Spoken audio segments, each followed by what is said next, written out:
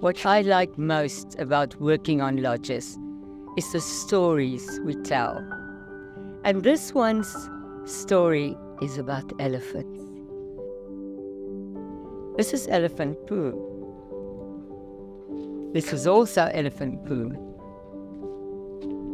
If your architecture is good, you can do anything because that directs you. It's like dancing the tango with someone that's very good. You just know what it needs, what goes where. Part of what we've done here with the design inspiration is creating contrast. We've got the smooth, soft interiors. What we wanted on the outside was a hugely textured and rough exterior. And what better than to use what we have all around us is the gift from the elephants is, is their dung. Elephants are bold. They've got great stories to tell and they're playful. And so we've really gone all out in exploring everything about them from the way they walk, from the shape of their feet, their skin, and their deep connection. I think what's different and very unique about Angama Amboseli is it isn't your typical safari lodge in Kenya or in East Africa. It's unique in its design, but it's also unique in the details that have been addressed. You know, it comes down to the little non-slip edges on a step, how the mountain is reflected in the mirror behind the vanity. It's all about these little details, but thinking of how those work for our guests and how those work in our greater Amboseli environment. For me, what's so magical is that you can sit here and it, when it's quiet, after not very long, the big animals come past and you get to really enjoy them. Something that's come out of all of that is actually our pool design.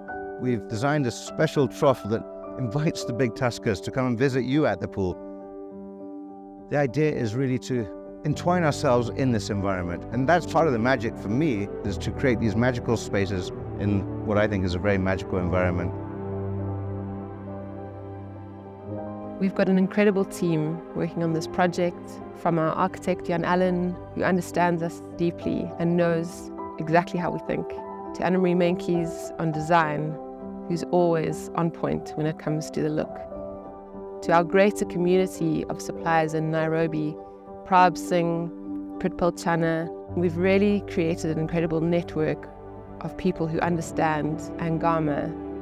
I'm really excited to showcase some of the great Kenyan designers and suppliers that we've worked with on this project. You must know that everything we do at Angama is basically for the guests. If we think out something or decorate a place or design a place, it's for guest delight. We've designed this lodge for guests to spend time, to really connect with this place, with each other, with themselves, in this sanctuary that is safe and serene and spectacular.